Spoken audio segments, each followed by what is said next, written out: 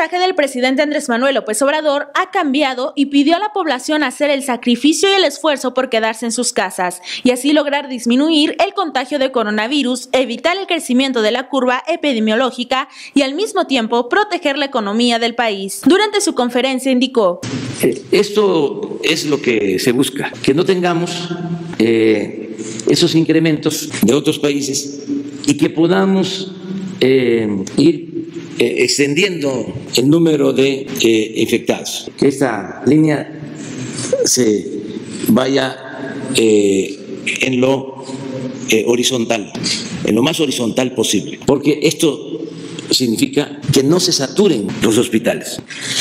Se dieron casos en donde esto es, en donde no había camas, ventiladores y enfermos delicados tenían que esperar a que se desocupara la cama, eh, el ventilador. Eso es lo que buscamos. Y por eso tenemos que hacer el esfuerzo, el sacrificio de eh, quedarnos en la casa. López Obrador aseguró que se atiende a la empresa sin destruir la base económica, además de que se cuida a los menos favorecidos. Soy muy consciente de quienes viven al día, pero yo estoy seguro que vamos a poder resolver esto pronto si seguimos actuando de manera profesional.